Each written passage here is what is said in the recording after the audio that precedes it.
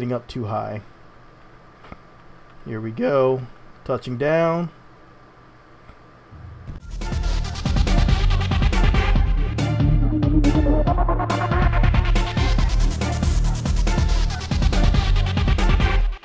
What's up, people? It's your boy Jatwaa. I'm here today in Kerbal Space Program. We're going to try our glider rover lander on Duna. of all the places to go. Uh, is probably the hardest one to glide into because you have to have so much lift on your craft. Escaping from Duna, vastly easier than Eve. I did warp this over here, so ignore the fact that I have so much fuel. Uh, if I had my actual lifter on this save, which I just need to go and transfer, um, I could just fly it over, but I didn't because I wanted to quickly get this developed and out and tested and we'll see how well this works. We're going to control from here. I was thinking that would give me more control, but it totally didn't. Anyhow, let's get this out of here.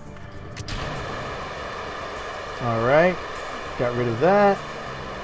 We don't need this fuel, so we're going to ditch this too that originally was the deorbit stage. So I just wanted to build the rest of that up so I could snap it onto the rest of my craft later because that's where all this fun really begins here. So let's swing ourselves back around, get that little stack separator out of the way, and let the fun begin.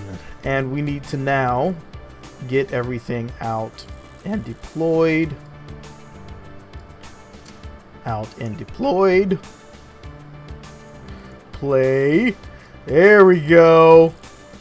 Okay, so we're out, we're deployed, and hopefully this is going to be stable enough to not flail around when we get into the atmosphere.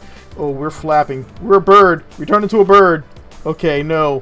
No. No, that's not good. Birding is not good. We're almost in the lower atmosphere. I'm hoping that it's enough to keep it nice and gentle. Because if we have that wing flapping right now, game over, man. Is We're just going to smash into the ground. Okay. And we also have to find a nice place to land. I can ditch these rear wheels. They're basically there to give something for me to land on and something to destroy. Honestly, they are th just there for additional lithobraking. So we'll see how well that works out. This always is so stressful. Duna landings are really easy if you decide to use engines. Super easy. Gliding down on Duna, not super easy because the lift issues. The atmosphere is so thin that it takes a lot of lift to make this happen, which is why the craft is mostly wings. I mean, it, it's very reminiscent of the early days of flight. Basically, you have to take everything back and start to think, how can we retain as much lift as possible and have as light a craft as possible? And then you have to find a nice, clean place to land. And you have to keep your nose down. If you do not keep your nose down, you're going to have a bad time. I am going to try to swing in this ravine a bit more. I think I may have it. Ah! That's a hard flare there. That was a hard flare. And that's exactly what we need to keep doing. These really hard flares so we can drop this speed. All right, here we go. Here we go. Here we go. Whoa! Okay, that was a little too extreme. I don't want to have to do that again. So now we really want to come down because we don't want our vertical speed to get start getting up too high. Here we go. Touching down. Success. And detach. No! Holy crap! Well, that destroyed her arm. But, wow, those arms are super fragile. That is super fragile. But we safely landed. I want to do it again and this time not lose my arm. That's a clean detach. Next engine phases in. deorbit burn. And it's really, really cool because I did see really well that if I leave it set to aiming at periapsis and then I let it just come on, uh, on over and spin, that we get this beautiful uh, angle. So let's play this. Deploy everything. Once it's there, auto strut. Good! I pointed all the Separatrons the right way.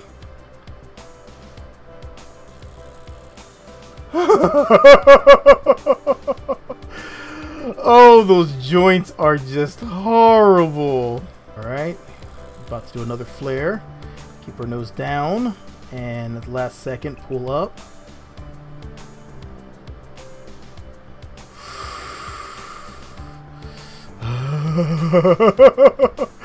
Patience. We almost got it. We're almost there.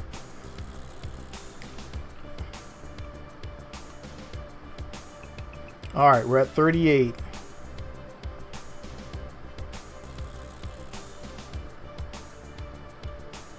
Thirty.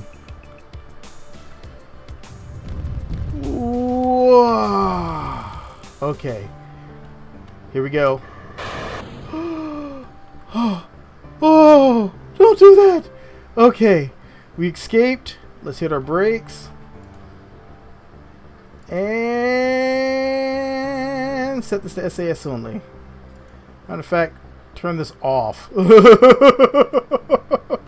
because we're here. Oh my god, and we have our arms still intact. Oh my god, that's beautiful. That was a nice glider landing. Oh, that feels good. Okay. Woo! We're here. We glided in on Duna. Oh my god.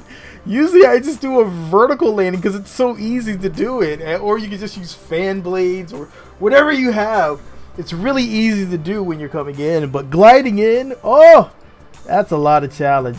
I don't worry about the parts of my craft that get destroyed um, as long as it's not my main craft. Not like I'm going to be putting those back in and flying off with them. I mean, I could if I decided to build one like that, but that's neither here nor there. But what we do have is a successful landing. That was a really interesting glide down, and it does take a lot of patience. A lot of patience to get down to the appropriate speed. At the very end, I got a little overly aggressive on the landing because I just wanted to get down in this good flat area. But we we made it, and the rear wheels did exactly what, what I wanted them to do. They they actually absorbed some of that impact. They don't have any braking on those, so I don't care about them. But the wings need better placement of the Separatrons because they almost took out my arm again. Nonetheless, successful landing, gliding down on Duna. Hope you guys enjoyed the video. If you have, drop me a like, share this out to your friends there's ways you can do it. You can save on costs. I'm just saying. And uh, I will catch you guys in the next one. For now, it's your boy Jatwaa. I'm out. Peace. Oh my god. Ah.